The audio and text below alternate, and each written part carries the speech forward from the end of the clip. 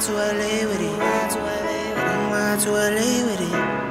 Yeah. Uh, ten toes down. What's up guys, welcome back to another video and welcome back to Atlanta. Starting the video on the rooftop patio with the sweet view of the city right there. If you're new here, my name is David and I moved to Atlanta in June of 2021. So already about two and a half years ago. I moved here for two reasons. The first reason being I wanted to reinvent myself, just start a whole new life, meet new people, do new things, and explore new places. And the second reason was I wanted to experience that big city life, that big city living that I didn't get to growing up in the suburbs of Ohio. And this got me thinking recently, man, ever since I moved here, I think my personality and who I am as a person has changed a lot. Certain parts of my personality have changed for the better that I absolutely love. I think moving to Atlanta was one of the very best decisions I made for my personal development. But on the other hand, I think living here has also changed certain parts of my personality, not for the better, for the worse. And there's certain parts that I honestly don't like about myself and I'm not that proud of. So today, we're gonna break down all of that.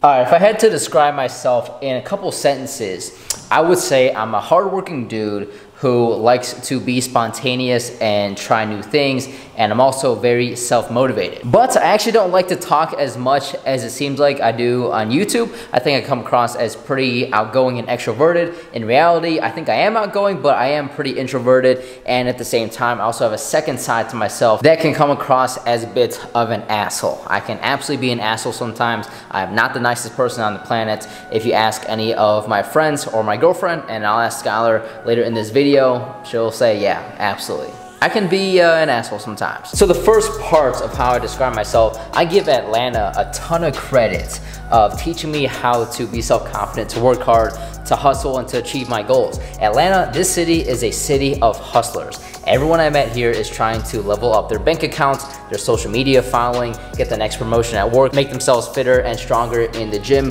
whatever the case may be. Everyone here, at least the people I've met and associate myself with, we're all part of that self-improvement journey. I absolutely love that. It's a young, it's a vibrant city here, high energy. Like anyone who wakes up with no goals, anyone who wakes up with little motivation to go out there and take on the day, it's just they're not gonna last here and that's the reality. So living here i've learned how to be self-motivated. I've learned how to rely on myself to get shit done. When i quit my job i moved here to do which was a huge risk at the time. I mean we're in the middle of a silent recession. That was a huge risk i took.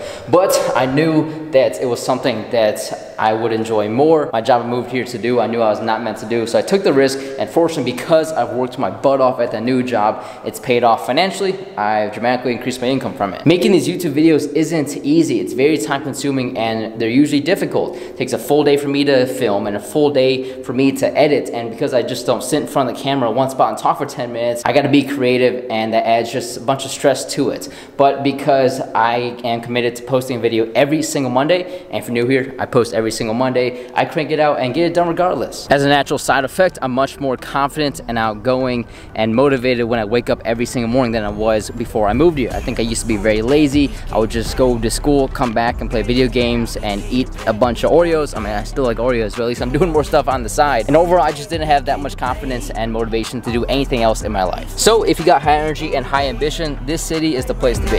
On the track, man, get it back, man.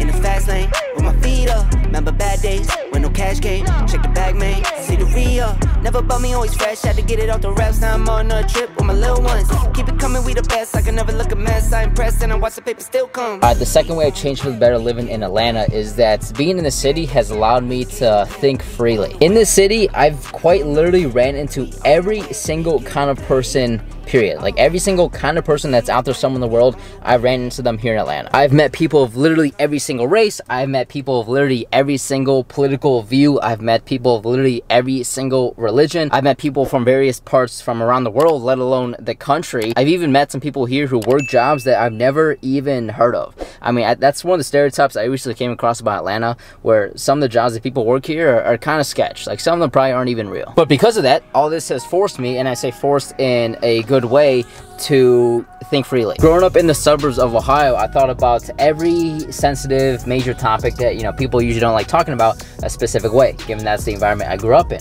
Ever since moving to Atlanta, I've changed that. So let me give you some examples. Uh, when it comes to religion, I am a Christian. As you can see, I wear a cross necklace in most of my videos. I grew up Lutheran, which is a specific part of Christian. If you don't know, it's you know it's kind of like Catholic, but not really. You get what I'm trying to say. I grew up Lutheran, went to private Lutheran schools quite literally from preschool up through college. Ever since moving to Atlanta, I am still absolutely 100% Christian, but now I consider myself non-denominational, which means I don't specifically associate myself with Lutheranism anymore. I'm a Christian, but I'm open. Like, I'm, I'm cool with anything. Another example, when it comes to politics, and by the way, we're chilling in beautiful Decatur right now, about to hit up a new pizza spot right after this, give a little taste test. But I hate talking about politics, especially on YouTube. There's absolutely no point. But to get my point across, I think before I moved here, I leaned pretty heavily towards one way, like almost all the way. But ever since I moved here and I've experienced the city and I've started thinking more freely, I think I've definitely gone at least a couple steps more towards the middle on, on certain specific topics. When I first moved here, my job, I worked for an accounting firm in, in their corporate tax department. And I did that because that's what my dad did growing up. And I thought for my career, it might just make sense if I kind of did what he did. But ever since moving here and being able to think more freely, I realized Absolutely not. I hated being an accountant. My, my, my, my life sucked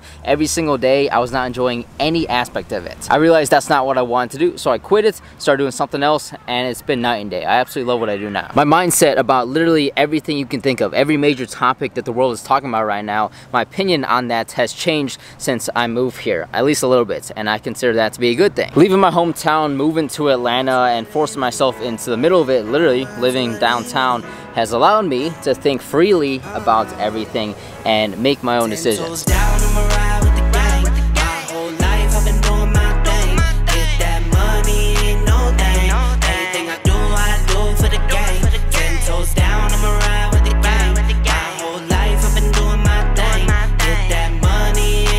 Alright, so you know what's about to go down? We're about to try out some Glide Pizza.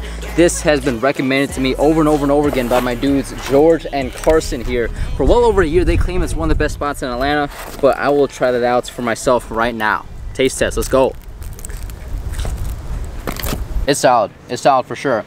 I think it's a little thin for what I usually preference, but it's solid. 8.4 out of 10. Not the best, but it's pretty freaking good. Babe, wait up, not built for this.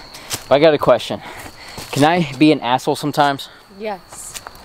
I told you. Let me explain. So in all honesty, I don't think most of the people living in Atlanta are as truly happy as people anywhere else. Like for example, I have a buddy that lived in Atlanta last year, then he moved to Jacksonville, Florida. And he said it's clear as day how much happier people are in Jacksonville than Atlanta. We went to South Carolina about three weeks ago. We've been to Tennessee more times than we can count. We went to Nashville specifically about a month and a half ago. And same thing, I don't know what it is, but you can just sense it that the people are just way happier than most of the people I've come across here in Atlanta. There's so much hustle and grinding here, like I mentioned at the start. As a result of that, people are always in competition with each other. Who can have more Instagram followers, who can have more YouTube subscribers, who can make more money. There's so much noise all the time throughout the city. There's so much traffic 24 7. They say like Friday rush hour starts on Thursday, even like 10 30 p.m. on a Sunday. You're still going 15 miles an hour down I 75. Like, where's everyone going? There's so much crime nowadays. You see on the news, there's two shootings every single day somewhere around the city. The list goes on and on and on of these factors that piss people off, make people anxious, make people stressed. That's what I've seen here as a common theme that people, because they aren't as relaxed as people in other cities, they're not the nicest people. And that started to rub off on me. So what I'm saying is the personality traits, my personality has changed for the worse in that I'm not as nice of a person as I was before I moved here, I don't think. And that is super unfortunate because I think I'm overall a pretty nice guy. I was always polite to adults growing up. I don't think I have any enemies or people that don't like me. If I do, I don't know what the reason is, but I feel like I just have random like spouts of anger, of being pissed off, of being stressed, like being anxious out of nowhere. And God knows for what reason that might be because I just said there's 20 different reasons here that piss people off. So because of that, sometimes I'll act pissed at Skylar for no reason. You know, she's the one who lives with me. She's around me the most nowadays out of anyone else I know. So sometimes I'll act mad at her for no reason, which is super dumb because I love her. Sometimes I will flick off drivers or drop an F-bomb at them while I'm driving on the highway. And I do that multiple times per day. That's how bad the drivers are here. Sometimes I'll act like an asshole to the waitress at the restaurant or someone at the cash register at the grocery store. You know, these are examples where I just act like an asshole sometimes. And I think I do that nowadays more so than I did before I moved here.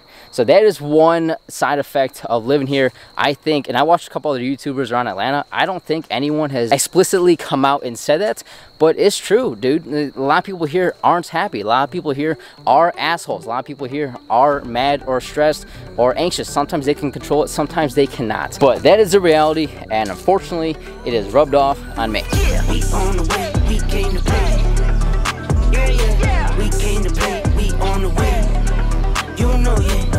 on the way, we came to play. Alright now, we came to play, track, man, get it back, man, in the fast lane, with my feet up. Dude, I'm almost at 200 vlogs. Can you believe that? 200 vlogs. I'm, I'm gonna hit that pretty soon. Start my channel in March of 2020 and drop the vlog every single Monday since then for over the last three years. Is it just me or has 2023 been absolute fastest year of all time? Dude, it just went by that. I mean, next week is Halloween weekend.